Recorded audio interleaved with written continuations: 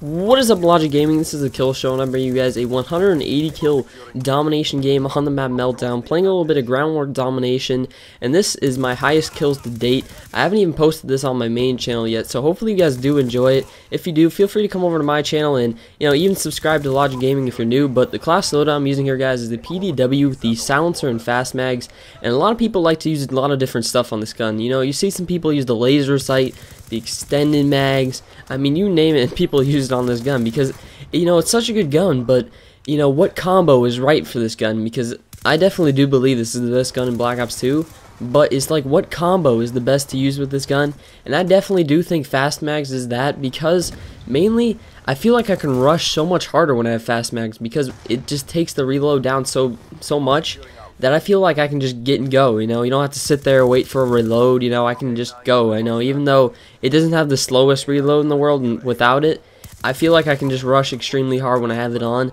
so that's why I do, you know, put, I do put it on my classes, so if you guys aren't using it, give it a try, see how it does for you, but the perks I'm using are Hardline Ghost, Tac Mask Scavenger, this is the combination of perks you guys will pretty much see me use in every gameplay. It's really just a solid combo. I use it on every single class, so definitely give it a try if you guys haven't, but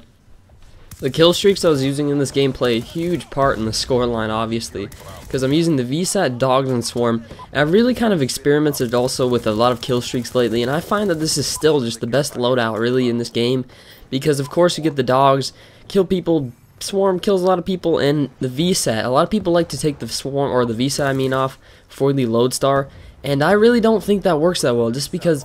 once I get my VSAT up, I rush so much faster. I get my kill streak so insanely quick because, you know, you know everybody is, so you have the ability to rush extremely quick, you know, above average. And uh, that's why I love it so much because I know where everybody is. I'm rushing extremely quick and I can pick up kill streaks and stack up really, really fast. So that's why I do like using the VSAT still. Of course, Dogs and Swarm, they go hand, but a few little things I've noticed lately in people's gameplays is, you know, I see these people get like 110, 105 kill gameplays, and that's because I see them in the game using Swarm and Dogs at the same time. If you guys watch, I never ever call my Swarm and Dogs in at the same time because, you know, that just makes them fight for kills. I don't really see the point of that. And yeah, I see a lot of people, they call them in at the same time, and they get what like 20 kills but if you call them in separate they get like 35 maybe even 40 kills so I definitely recommend you guys call them in a different time it just gives you the maximum amount of kills and definitely definitely is the best way to go in my opinion so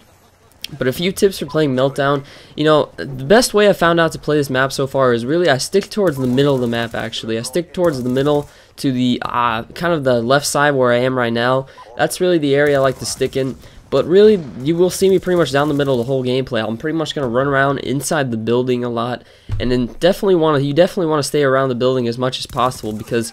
either way, it doesn't matter which spawn they have, there's two buildings and you, if you play the buildings right and you don't camp in there too much in one area and you like kind of run around them right, you can definitely stay there for a long time and do a lot of work. And this is also where C4 comes in handy because if you guys ever see anyone camping in those little windows up top, because you'll see at least like two or three guys all the time, like this guy right here, all you do is toss a C4 up there, bam, you get like a double, triple kill. So if you guys aren't using C4, I definitely recommend that too. Especially when you have a Blackbird up, C4 is probably like the most deadly thing in the game. Honestly, it's insane because when you have C4 up and you know where anybody is with the VSAT, it's just you're unstoppable because you can easily time your C4s to kill everybody. It, it works out really well, but here I go on a pretty good streak right here at the end. I mean, you see me just picking guys off left and right, picking up my VSAT and my, I'll get my kill streaks again. I think I get like four or five, maybe even swarms of dogs in this gameplay. It's pretty insane. So I do go on a pretty good train.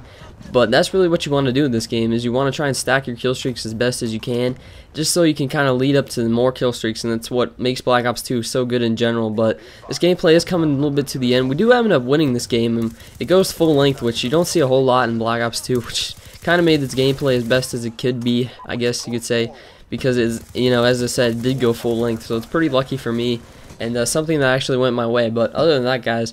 gameplay's coming to an end. If you did enjoy it, feel free to come over to my channel, subscribe to Logic Gaming, and other than that, guys,